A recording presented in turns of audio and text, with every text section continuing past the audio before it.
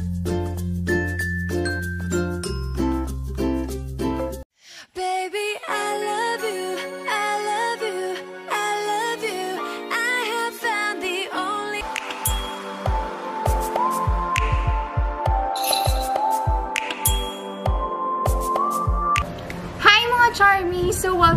another video. And for today's video, gagawin ko na i-request sa comment section ng mga nakarang araw yung Dalgona coffee. And itatry ko na rin um, gawin yung Dalgona Milo. Pero yung Dalgona Milo, alam ko medyo mahirap siyang gawin dahil mahirap siyang gawing thick yung pinaka Milo niya sa ibabaw. So, hindi ko alam kung saan sikat yung Dalgona ang sabi nila sa TikTok kasi hindi naman ako active sa TikTok. Alam niyo yan. So, ngayon, tatry natin gayahin nga yung Dalgona coffee. So, meron tayo dito 45 milk. Ito yung pinabili ko kasi mas gusto ko yung 40, eh, nakakabala lang, 45 milk kaysa sa fresh milk.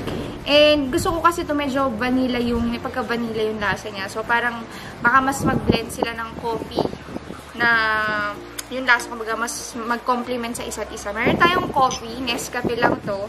Sugar.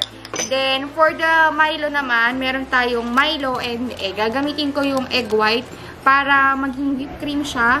So, ayan. Meron tayo dito mga transparent na baso. Meron tayong pang whisk, syempre. And meron tayong dalawang mixing bowl para sa Milo and sa coffee. So, sisimulan ko muna sa madali. Ito, ipaparef ko muna kay jowa dahil para malamig pa siya. So, hindi tayo nagawa ng ice para mas malasa siya. Kaya ang ginawa ko, pinalamig ko na lang yung aking 45 milk. So, sisimulan muna natin guys sa set aside ko muna yung mga baso dito. So, kung nakikita nyo, marami nakapilang baso kasi nagpapagawa rin yung ate ko, tsaka yung mga kapatid ko. So, meron na tayong tubig dito. Unahin muna natin yung coffee. Yung sabi yun, 1 is to 1 is to 1. Pero dahil marami kong gagawin, gagawin natin 3 is to 3 is to 3. so, nakalagay doon 1 tablespoon ng coffee. 1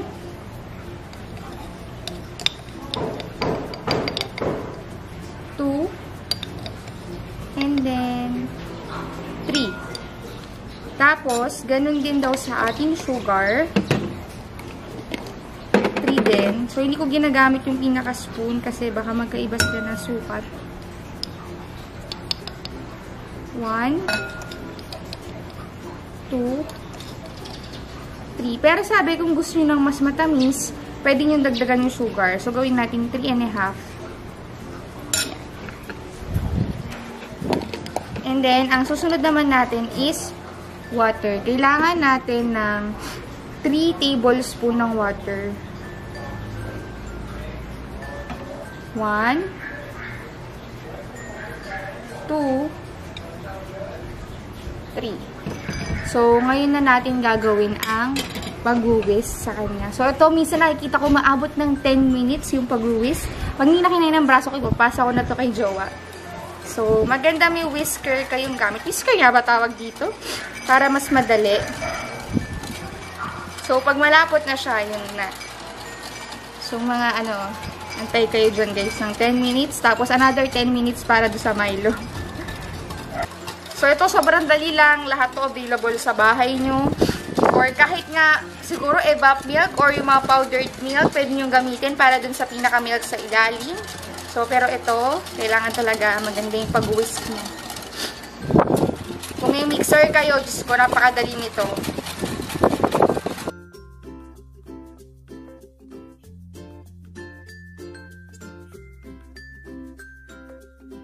So, makikita nyo guys si Jowa, ginagawa niya na dyan yung, ginagawa niya na sa tabi yung ating, habang wini-whisk ni Jowa yan, sisimulan ko nang i-whisk din yung Milo, pero siguro spoon na lang ang gagamitin ko muna sa Milo.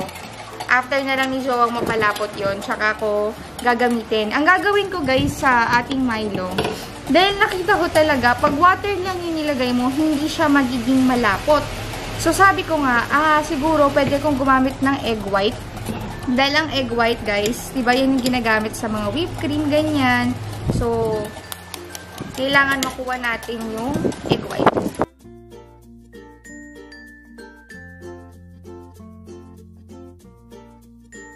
So, mamaya magagamit natin yung egg yolk, so hindi yun masasayang. Jowa hirap na hirap na doon. So, ang gagawin ko is, ito munang aking tawag dito, kutsara. Pero lalagyan ko na pala siya ng sugar. Tatlong Milo siguro yung gagamitin ko. Lagyan na natin ito ng 3 tablespoon ng sugar.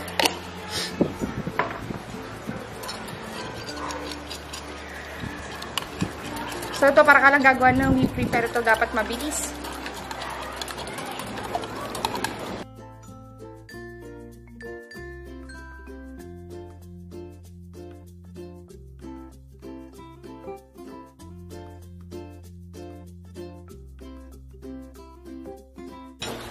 So, kukuha si Jowa ng tinidor para dun sa ating egg. Nakakangalay pala talaga siya.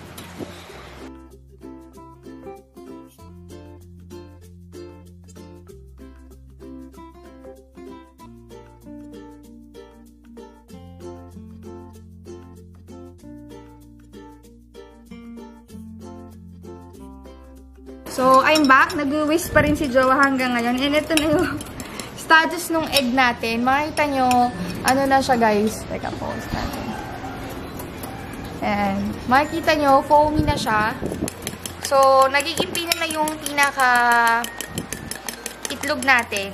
So, konti na lang mamaya medyo magiging parang whipped cream na to. So, tsaga-tsaga lang guys. Nakita ko rin kasi sa video ni Erwan Yusap, ginawa niya water nung una. Hindi talaga tumalab.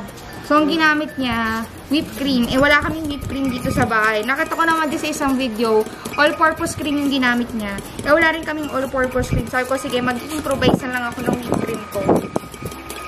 So, yan.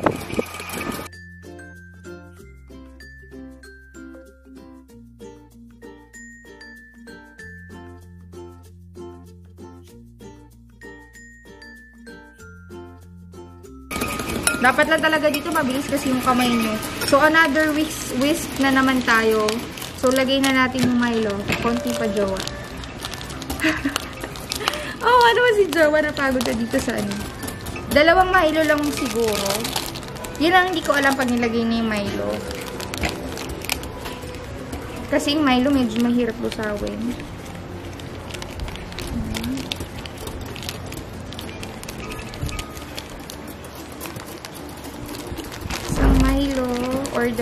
Dalawat kalahati.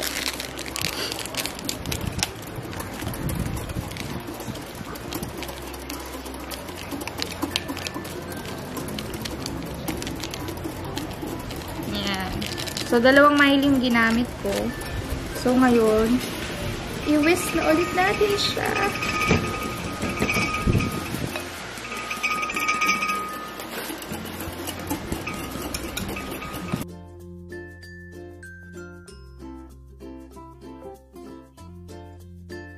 So, eto na guys, nalagyan ko na siya ng, dinagdagan ko ng isang Milo. So, medyo malapot na siya, pero kulang pa to. Ito na yung ating um, coffee. Itong coffee, tatlo yung magagawa nito dahil tatlo yung, um, tawag dito, tatlo yung, tanggalin muna natin yung straw.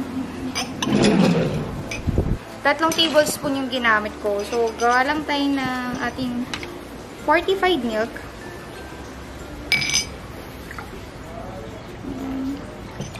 Huli na gatas pala yun.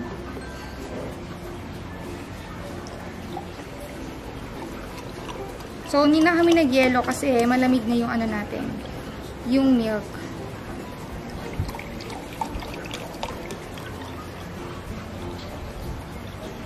Yan. Pagdagan pa natin. Tapos, ilalagay na natin yung coffee sa ibabaw.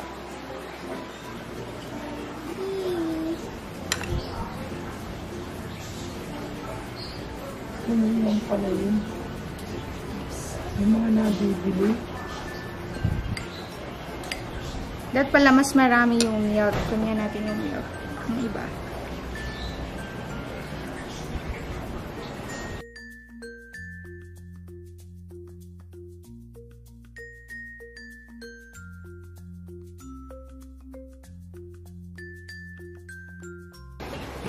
So, ito na guys ang ating dalgona. Hindi siya mag-focus, no?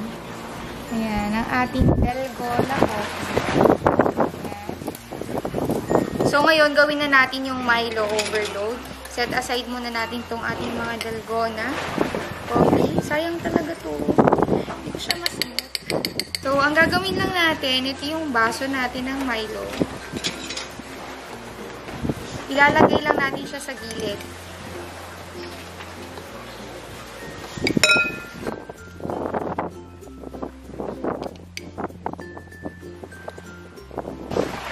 Kasayaan natin sa ilalim siya mag-settle. Pero dapat may mga butas pa rin.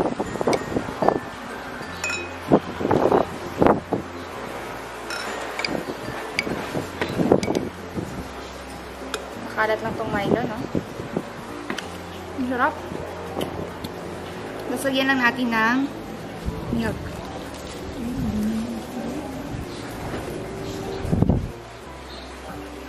So, hindi nakita yung butas niya. Ayan. So, ito naman yung ating Milo overload. Hindi na siya dalgona. Dahil hindi talaga siya lulutang, guys. So, ngayon, tikman na natin yung lasa nito. Tayo ng dalawang uh, ito gusto ko, yung mataas. Oo. Straw. Tikman ko muna yung coffee. So, yung coffee, guys, ang ginagawa nila, hinahalo nilang ganyan. Kasi pag ininom mo siya ng... Nagulat ako. Pag ininom mo siya ng ganon, lasa lang siyang 45 milk. So, kailangan mo siyang haluin. Di ba? Pagkatapos mo paghirapan, iwis ng iwis, ang gagawin mo naman, is haluin mo siya. Ay, nako, ewan ko ba. So, pero parang maganda pa rin na may matirang konting ganyan. Tikman natin. Oh my God! Ang sarap! In fairness, guys, ang sarap niya pag 45 milk yung ginamit nyo. Para kang bumili ng vanilla coffee. Or parang cafe latte. Ganun yung lasa niya. Jowa, dito ka. Dali.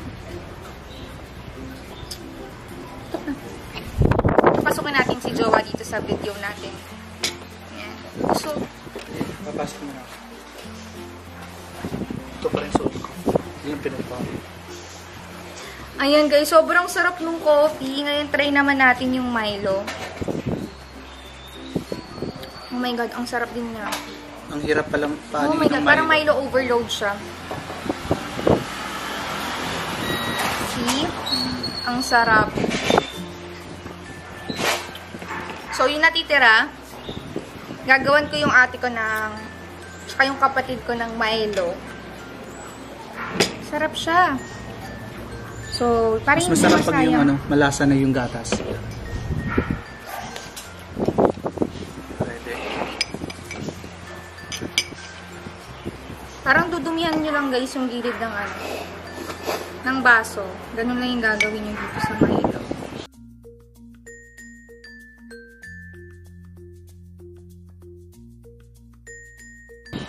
Ang hirap ng paghalo.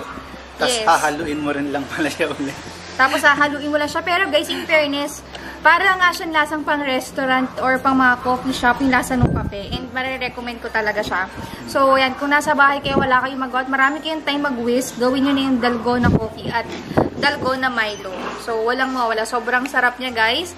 So, ayan na, guys, ang ating dalgona coffee version and Milo overload. Dahil hindi talaga success yung ating kung, Milo. Kung meron ka siguro Kung may mixer talaga tayo, ma-achieve natin yung Milo. Pero sobrang sarap na rin yung outcome na naging lasa ng ating Milo. Para siyang mga creme Milo sa mga milk shops. So, ayan guys, sana nag-enjoy kayo sa video na to. Kahit puro pag-whisk lang yung nakita nyo. So, kung if ever man na matatry nyo rito, comment kayo sa baba kung ano naging result nung sa inyo, kung masarap din talaga. Guys, mas marirecommend ko yung 45 milk kasi mas nag-level up yung lasa niya. Kasi lasang vanilla ang 45 milk compare, compare, compare mo sa fresh milk na plain milk lang yung lasa niya. So, ayan guys, please give this video a big thumbs up and don't forget to subscribe. Bye! Maraming salamat!